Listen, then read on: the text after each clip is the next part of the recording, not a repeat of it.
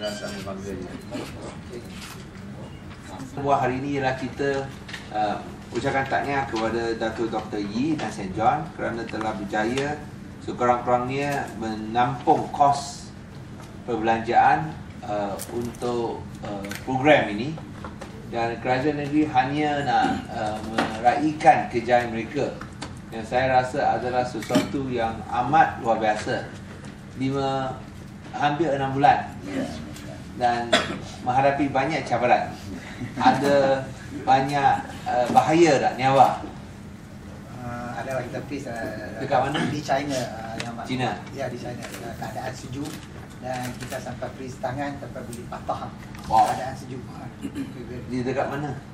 Uh, China. Sangsi. Sangsi ya. Oh Sansi Bila kita naik bukit tu yang mak uh, uh, ini sudah kawasan barat lah. Ya, oh, so tapi nasib baik semua okey lah Alhamdulillah okay.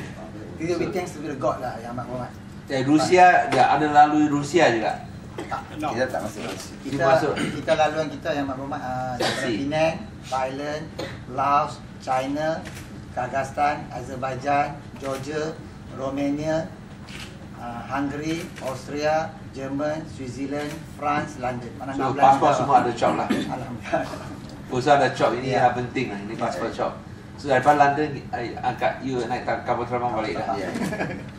Okey baik so dengan ini uh, saya hanya nak berikan satu uh, token itu untuk penghargaan iaitu RM2000 setiap orang menghargai itu uh, itu usaha yang dibuat yang saya rasa sesuatu yang amat amat baik bukan sahaja menaikkan kesedaran tetapi pada masa yang sama juga menunjukkan kemampuan uh, itu uh, penengang-penengang daripada Malaysia pergi ke uh, London. Terima kasih. Terima kasih. So kalau boleh saya minta itu cek diberikan dan juga pada St John ah yang menjalankan usaha ini. Uh, kita lihat di Pulau Pinang sekarang uh, orang berminat nak kayu basbir dan untuk kesihatan dan saya rasa mungkin cadangan ni tak mungkin dah dibuat. Mungkin boleh ambil jasa baik amat berhormat dan exco lain. Mem- memberi apa peluang kepada rakyat Pulau Pinang untuk kayu basbir dan adakan cycling seberapa cepat. Dan keadaan sekarang kami memang melalui melalui setiap minggu kita kayu dan setiap hari juga. Dan kita tengok keadaan di di Pulau Pinang ni bila kayu basbir keadaan bahaya.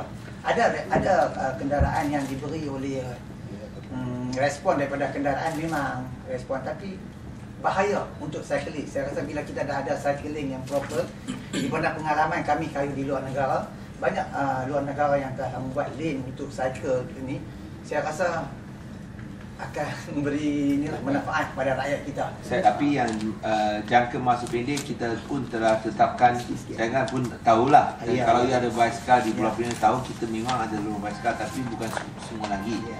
Yang kita hasrat ialah menjelang 2020 kita boleh hubungi daripada jambatan jambatan kedua sehingga ke itu uh, Batu Tinggi adalah Teluk Bahang sana.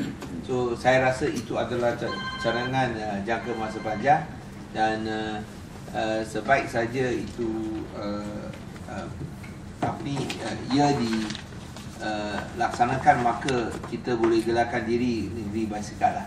Tapi kita akan buat secara peringkat-peringkat. Saya rasa yang jangka masa pendek mungkin setahun dua lagi kita akan lihat. So ini adalah dalam proses. Tapi kita telah umumkan tahun lepas. Jangan semua tahulah. Dan dia mungkin dalam uh, jalan raya. Kalau kita lihat dalam dari segi bukit kerana Pulau Pinang ni memang bukit yang cukup indah. Yang kita, saya pengalaman kita bila kita pergi di luar negara, bukit pun diperguna sepenuh sepenuh dan uh, saya rasa pelancongan kita boleh tarik lebih lebih menarik kerana banyak pelan, uh, bila datang ke Pulau Pinang. Mereka boleh apa melalui bukit-bukit. Saya rasa pengalaman kita daripada uh, Sungai Hangga tu dia boleh tembus ke balik pulau uh, ke uh, Penang Hill, Teluk Bahang. Saya rasa kalau kita memperkemaskan sedikit, saya rasa jalan tu dah ada yang Muhammad. Just upgrade about 10 to 20% saya rasa pelancong boleh guna. Dan saya tak langsung kita boleh memperkenalkan lah. Itulah saja pandangan lah. Yang kita dah. Mungkin just upgrade. Terima kasih banyak-banyak Muhammad yang telah perhatian Terima kasih kepada kita orang cyclist lah. Untuk kesihatan.